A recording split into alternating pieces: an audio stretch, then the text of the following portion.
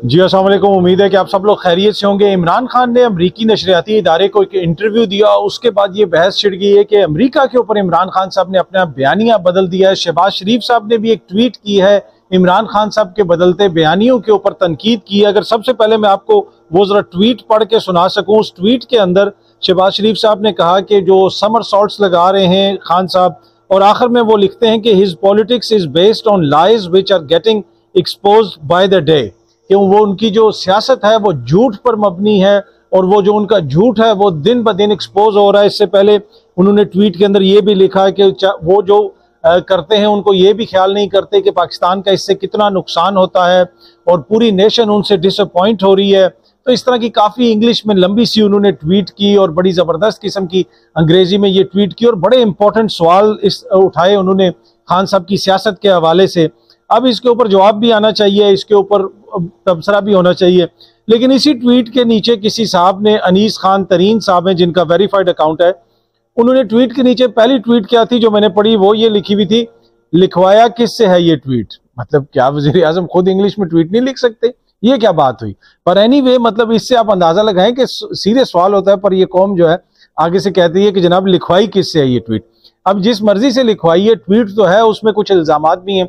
अब खान साहब ने जो इंटरव्यू दिया वॉइस ऑफ़ अमेरिका को, उसके बाद बहुत सारे लोग, और मेजोरिटी वो लोग, कि जिनके ऊपर ये इल्ज़ाम भी नहीं लगता कि जी ट्वीट किससे लिखवाई है, या क्या है, जो इंग्लिश मीडियम है, पाकिस्तान का एक तबका, जो जो मतलब घर में भी इंग्लिश बोलता है, जो ये बड़े फख्र लिया ये बताते हैं कि वो मेरा बच्चा उर्दू में बड़ा कमज़ोर है, जैसे जापान से आया हुआ है ना इंग्लिश में बड़ा तेज़ है। तो वो, उस तरह का जो तबका है, वो भी मैं देख रहा था कि वो सारे ट्वीट्स कर रहे हैं कि इमरान खान ने अपने बयानी से पीछे हट गए यू टर्न ले लिया और इमरान खान ने यह कह दिया कि जी मैंने अमेरिका पे कभी इल्ज़ाम नहीं लगाया, मैंने ये नहीं किया, मैंने वो नहीं किया, अमेरिका का तो इसमें कोई हाथ ही नहीं है। और एकदम से उन्होंने 180 डिग्री का यू टर्न ले लिया। अब हकीकत क्या है? इसको समझना बहुत ज़रूरी है। इमरान खान साहब का वो इंटरव्यू मैंने सुना, अंग्रेज़ी में था। मैंने दोबारा सुना, फिर भी अंग्रेज़ी में था। फिर मैंने दो बंदे बुलाए जिनको अंग्रेज़ी आती है। मैंने उनसे उर्दू तर्जमा करवाया। मैंने कहा, कहीं शायद मुझे समझ नहीं आ रही, ये कह रहे क्या है और लोग क्या तबसरे कर रहे हैं और उसके ऊपर नया बयानिया बनाने की कोशिश हो रहे हैं? अब खान साहब ने उसके अंदर क्या? मैंने उसका उर्दू तर्जमा आपको बताता हूँ और मैं चैलेंज से कहता हूँ, कोई इसको जो है गलत साबित कर दे। अच्छा खान साहब ने उसमें यह कहा कि सफारती जो ताल्लुकात हैं, वो जातियात पे मबनी नहीं होते, बल्कि मुल्की मफाद में होते हैं। अमरीका जो है, पाकिस्तान का सबसे बड़ा ट्रेड पार्टनर है, इस हवाले से उन्होंने बात की और उसका जो, और ये भी उन्होंने कहा कि जो भी हुआ, वो माजी में हुआ। कुछ में अब आपको बताता हूँ एग्जैक्ट वर्ड्स खान साहब के। खान साहब कहते हैं कि अब हमें पता चल रहा है कि जनरल बाजवा ने अमेरिका को कायल किया कि मैं एंटी यूएसए हूँ और ये जो आइडिया है कि मैं एंटी यूएसए हूँ, ये यहाँ से एक्सपोर्ट हुआ। ये यहाँ से वहाँ गया अमेरिका तक कि मैं अमेरिका के खिलाफ हूँ। आगे से जो खातून, जो एंकर हैं, वो सवाल करती हैं अंग्रेज़ी में कि आप अभी भी समझते हैं कि अमेरिका ने आपकी हुकूमत के खात्मे में कोई एक किरदार अदा किया? ये बड़ा क्लियर कट क्वेश्चन है। ये नहीं है कि जनाब कोई मुबम क्वेश्चन हो और इसका मुबम आंसर हो।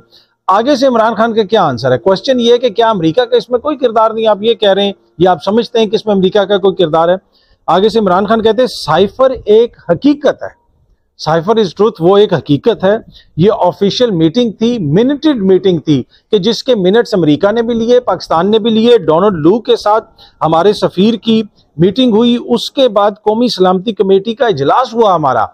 उसमें भी ये डिस्कस हुआ और उससे आगे उन्होंने लिखते, आगे खान साहब कहते हैं कि हैविंग सेट दैट कि it was in the past ये पास्ट में था और अमेरिका के अभी भी पाकिस्तान से जो है ना अमेरिका से पाकिस्तान के अच्छे ताल्लुक होने चाहिए, क्योंकि ये पाकिस्तान के हक में है, वो हमारा सबसे बड़ा ट्रेड पार्टनर है, सबसे ज़्यादा हमारी एक्सपोर्ट वहाँ पे होती है। तो उन्होंने कहीं ये नहीं कहा कि अमेरिका ने इसमें कोई साजिश नहीं की, या अमेरिका का इसमें कोई किरदार नहीं था। उन्होंने ये कहा है कि जनरल बाजवा ने अमेरिका को कन्विंस किया कि मैं एंटी अमेरिकन हूँ, फिर अमेरिका ने ये साइफर भेजा, अमेरिका ने ये किरदार अदा किया, और अमेरिका ने, की ये मंशा थी कि जनाब इसको उतारा जाए। तो इसमें अमेरिका का किरदार भी और जनरल बाजवा का किरदार भी है, बकुल खान साहब के। ये वो इल्ज़ाम हैं जो खान साहब लगाते हैं। अब इसमें एक बड़ी इंपॉर्टेंट चीज़ है। अब सब लोग ये कह रहे हैं ना कि साइफर के ऊपर इमरान खान ने अपना बयानिया बदल दिया, अमरीकी साजिश के ऊपर अपना बयानिया बदल दिया, सब कुछ बदल दिया। तो चलें, अब सुप्रीम कोर्ट का कमीशन बना ले और इस साइफर के ऊपर तहकीकात करवा लें। और इमरान खान ने तो अपना बयानिया बदल दिया ना तो दूध का दूध और पानी का पानी साबित हो जाएगा। आप क्यों नहीं इस पर तहकीकत करवाते? इतना महीने गुजर चुके हैं, रोज मुतालबा होता है कि इसके ऊपर तहकीकत करवाएँ। इसमें किसका क्या किरदार था? तहकीकात क्यों नहीं करवाई जा रही? अगर इमरान खान झूठ बोल रहा है, उसने सब कुछ कह दिया कि जी मैंने झूठ बोला था तो फिर तो ये हुकूमत के लिए विन विन सिचुएशन है। हुकूमत फ़ौरन अनाउंस करे चीफ जस्टिस साहब को लिखे कि जनाब एक रुकनी बेंच या दो रुकनी कमीशन जो भी है, जिस तरह भी है, बनाया जाए सुप्रीम कोर्ट का कमीशन और इस पर तहकीकात करवाई जाए। तहकीकत करवानी नहीं है, लेकिन इंटरव्यू जो इंग्लिश में कुछ और दिया गया, उसको अपनी मर्ज़ी से कुछ और बयान किया गया। अच्छा एक और शहबाज शरीफ साहब की एक और जो है वो ट्वीट भी मैंने देखी, वो गुजशत रोज थी और वो बड़ी अच्छी ट्वीट थी। उसमें उन्होंने लिखा कि deeply moved by by the example of an anonymous Pakistani who walked into Turkish embassy in the USA and donated 30 million for the earthquake victims तुर्की में और सीरिया में। These are such glorious acts of जो भी आगे उन्होंने लंबा लिखा कि ये जो खैराती काम का बड़ा ज़बरदस्त एक्ट है, और मैं इससे डीपली मूव्ड हुआ हूँ। एक पाकिस्तानी क्या है, और उस एनॉनमस पाकिस्तानी ने ओवरसीज पाकिस्तानी है, तीस मिलियन डॉलर तुर्की की अम्बेसी में जाके दे दी, और अपना नाम भी नहीं बताया कि जी मेरा नाम ज़ाहिर मत करें, मैं एनॉनमसली देना चाहता हूँ। इससे शहबाज शरीफ साहब बड़े मुतासर हुए हैं। बड़ी अच्छी बात है, मुझे भी खुशी हुई है, तुर्की वाले हमारे भाई हैं, सीरिया वाले हमारे बहन भाई हैं अगर वो मुतासर हो रहे हैं, उनकी मदद करना हमारा फ़र्ज़ है। लेकिन क्या वजह है कि ये डॉलर पाकिस्तान को नहीं दिए जाते? अच्छा होता कि ये पाकिस्तानी पाकिस्तानी हुकूमत को दे देता कि जी ये पाकिस्तानी हुकूमत दे दे तुर्की को वो क्यों नहीं देते? क्यों ये अपनी हुकूमत के ऊपर ट्रस्ट नहीं करते? ये डीपली मूव के बजाय हमें डीप, इस डीपली जो है डिस्टर्बिंग कि हमें क्यों नहीं देते ओवरसीज पाकिस्तानी? हमारी हुकूमत पे क्यों एतबार नहीं करते? क्यों नहीं आके उनको इस तरह तीस मिलियन डॉलर देते? इतना बड़ा सैलाब आया, आप जिनीवा तक मांगने गए थे, किसी ओवरसीज पाकिस्तानी ने तुर्की वालों को दे दिया, आपको क्यों नहीं दिए? ये क्या वजह है?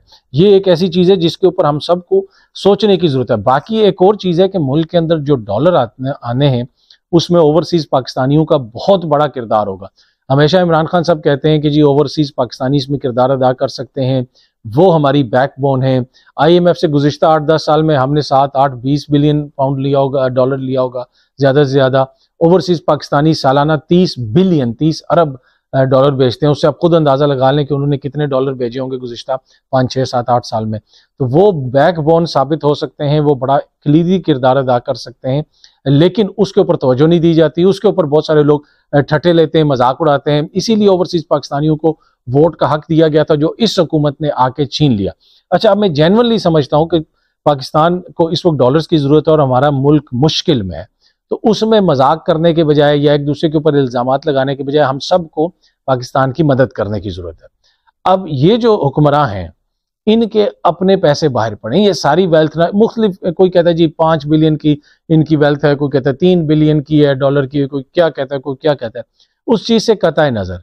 मेरे, ये मेरी जैनवन जैनवन एक जो है तजवीज़ है जैनवन तजवीज़ है कि अगर जो हमारा हुक्मरान तबका है, शरीफ ख़ानदान हो गया, जरदारी ख़ानदान हो गया, ये दोनों मिला के अपनी वेल्थ का कुछ हिस्सा डॉलर्स में वापस ले आए और साथ पाकिस्तानियों को बताएँ कि जनाब ये इतना 500 मिलियन एक बिलियन डॉलर हम लोग अपना ले आए हैं। हमने अपना यहाँ पे जायदादें बेच के मुल्क से या जो भी इनके एसेट्स हैं वहाँ पे जिसके भी नाम पे हैं, वो ले आए हैं हम और ये हमने यहाँ पे ला के रख दिए अगर वो ये करते हैं तो फिर सारे ओवरसीज पाकिस्तानियों से रिक्वेस्ट करें कि आप लोग भी कंट्रीब्यूट करें। अगर ये हुकूमत और हुक्मरान खानदान, शहबाज शरीफ साहब अपने पैसा जो बाहर इनका है, इनके बेटे का है या किसी का भी है, वो डॉलर पाकिस्तान में लाते हैं। डार साहब के अपने बेटे का कारोबार बाहर है, डार साहब के भी माशाल्लाह का वेल ऑफ़ हैं, वो भी पैसे ला सकते हैं। और ये कतन किसी का मज़ाक या तजीक या कोई इल्ज़ाम नहीं है। ये एक तजवीज़ है। ये हुक्मरान ये करें, ये अपने इतने इतने डार साहब कहें जी कि मैं दस मिलियन डॉलर ला रहा हूँ, मियाँ साहब कहें, ये कहें, ये बड़ी रकम लेके आए ना खुद। फिर ओवरसीज पाकिस्तानियों से रिक्वेस्ट करें, मैं आपको यकीन से कहता हूँ कि वो वो साफ़ और शफाफ निज़ाम बनाएँ, उस पर कोई कमीशन बैठाएँ, उसमें अदलिया का नुमाइंदा भी हो, दीगर भी हो, कि वो पैसा सिर्फ़ आएगा और वो पाकिस्तान के कर्जे उतारने के लिए इस्तेमाल होगा। आप यकीन करें, बड़ी तादाद में ओवरसीज पाकिस्तानी उसमें डॉलर भेजेंगे। और मैं ज़ाती तौर पर प्लेज करता हूँ कि मैं भी उसमें जितना ही मेरी औकात है, जितनी मेरी अल्लाह ने मुझे तोफीक दी है थोड़ी बहुत, मैं उसमें ज़ाती तौर पर शहबाज शरीफ साहब ये स्टेप लें। मैं शहबाज शरीफ साहब की हुकूमत को वो पैसे जो है ओवरसीज खुद भी भेजूँगा और दीगर जगहों पर भी जाके अपने ज़ाती खर्चे पे पूरी दुनिया से जितना पैसा ओवरसीज पाकिस्तानी को कन्विंस कर सका डायरेक्ट उस अकाउंट में डाला जाएगा जो पाकिस्तान के कर्जे के लिए उतारने के लिए इस्तेमाल होगा। लेकिन उसके लिए शर्त यह है कि शरीफ खानदान, जरदारी खानदान, ये लोग अपना सारी वेल्थ नहीं ऑब्वियसली इन्होंने बिजनेसेस में कमाई है बिजनेसेस में कुछ लोग कहते हैं कि जी इनके ऊपर मुबैना करप्शन के इल्ज़ाम हैं, लेकिन वैसे भी अल्लाह ताला की ज़ात बिज़नेस में नवाजती है बिज़नेस में लोग पैसा कमाते हैं, ये आसूदा लोग हैं, ये हमारे हुक्मरान हैं, इनका दर्जा हमारे जिसे वालदेन की तरह का है, जो पूरे मुल्क के।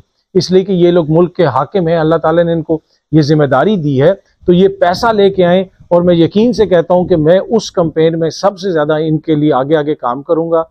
अपनी जेब से, अपनी जेब से उसमें डॉलर भी डालूँगा। जितने डॉलर अल्लाह ताला ने मुझे तोफीक दी, जितने मेरे दोस्त हैं, उनको भी और इन ताला बड़ी रकम ओवरसीज पाकिस्तानियों से इकट्ठी करके वहाँ पे डलवाने की कोशिश करेंगे और ओवरसीज पाकिस्तानी खुद भी देंगे। इसलिए कि अगर 30 मिलियन डॉलर जाके वो तुर्की में दे सकते हैं तो क्या वो पाकिस्तान को नहीं दे सकते? क्या हम कितनी मुश्किल में इसका अंदाज़ा नहीं है हमें। हमें अंदाज़ा ही एंड ऑफ़ द डे ये मुल्क है तो हम है। ये मुल्क रहेगा तो इस पर इमरान खान आके हुकूमत करेगा। इस पर बिलावल आके वजी अजम बनेंगे। इस पर कोई और आके वजी अजम बनेगा या कोई और आके हुकूमत करेगा। तो ये बड़ा इंपॉर्टेंट है, ये जैनवन तजवीज़ है। ये दोनों बड़े ख़ानदान, फिर बाद, दीगर भी सियासी ख़ानदान है, वो भी अपने पैसे बाहर से लेके आए डॉलर्स लेके और ओवरसीज़ पाकिस्तानियों को कहें। और मैं आपको यकीन कर से कह सकता हूँ कि खरबों डॉलर ओवरसीज़ पाकिस्तानी भेज सकते हैं। अरबों डॉलर हैं उनके। वो आपके इन्वेस्ट कर सकते हैं। ये मैं आपको मुशाहे की बुनियाद पर कह रहा हूँ। मुझे पता है कि ओवरसीज पाकिस्तानी किधर किधर इन्वेस्ट करते हैं। एक करोड़ के करीब ओवरसीज पाकिस्तानी है। उसमें से एक लाख ओवरसीज पाकिस्तानी भी मिलियन डॉलर के करीब ला के पाकिस्तान में रख दे। बाकी मिलियन डॉलर डॉलर ना भी करें, कोई बीस दे, कोई तीस दे, कोई सौ डॉलर दे, कोई दो हज़ार डॉलर दे, कोई चार हज़ार डॉलर दे। जब मुश्किल वक्त पड़ती है तो कौमें कर खड़ी होती हैं तो कुछ ना कुछ करना पड़ता है। लेकिन इस पे इनिशिएटिव जो है, वो हमारे उनको लेना पड़ेगा, हुक्मरान खानदान को लेना पड़ेगा और ओवरसीज पाकिस्तानियों को, उनके वोट से ना डरें, उनको वोट का हक दें। और उनके डॉलर से जैसे प्यार करते हैं, वैसे ही उनके वोट से प्यार करें, क्योंकि वो पाकिस्तान से प्यार करते हैं और मुश्किल वक्त में पाकिस्तान की मदद करेंगे। अच्छा आखिर में इलेक्शंस के हवाले से जनाब अभी तक कोई अनाउंस नहीं हुई। लाहौर हाई कोर्ट का डिसीज़न भी आ चुका है और अब तोहन अदालत की गालबन कोई पटिशन वगैरह भी दायर होगी देखते हैं इलेक्शंस होते हैं या नहीं होते। इस्लामाबाद में इलेक्शंस नहीं करवाए गए थे। सिक्योरिटी का कहा गया था कि जी, एक शहर में भी इलेक्शंस नहीं हो सकते। सिक्योरिटी का मसला है, फिर उस, ये मसला है तो वो मसला है। यूसी की जनाब मरदमशुमारी होनी है और मुख्तु बातें होती हैं।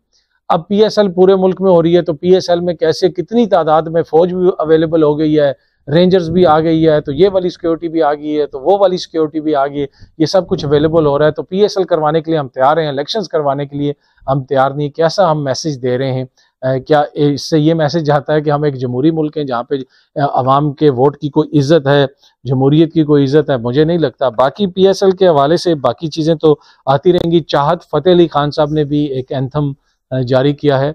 ये बहुत मारूफ सिंगर हैं, मैंने इनको सुना पहली दफ़ा और ये कल एक और जगह पे भी मैं देख रहा था। तो ये गाना मुझे लगता है कि ये चार्ट जो है रिकॉर्ड्स तोड़ेगा। और आलमी सतह पे हो सकता है कि ये गाना जितना मकबूल हो उससे भी जो लोग इनकी एल्बम डाउनलोड वगैरह करेंगे डॉलर्स पाकिस्तान में आए। पर एनी anyway, अगर यही यही कुछ रह गया पाकिस्तान में अगर हमने डॉलर्स करने लेके आने हैं तो कुछ ना कुछ तो हमें करना पड़ेगा और सबको इसमें अपना किरदार अदा करना पड़ेगा। बाकी इमरान खान साहब के बयान के ऊपर जो कुछ बहस चल रही है और जो कुछ जिस किस्म की बातें हो रही हैं वो आपने को भी पता है मीडिया पे भी चल रही है और चलती भी रहेगी। हकीकत क्या है? वो मैंने आपको लफ्ज ब लफ्ज बता दी। उम्मीद है कि वीडियो आपको पसंद आई होगी। बहुत जल्दी आपसे दोबारा मुलाकात होगी। बहुत बहुत शुक्रिया। Thank you so much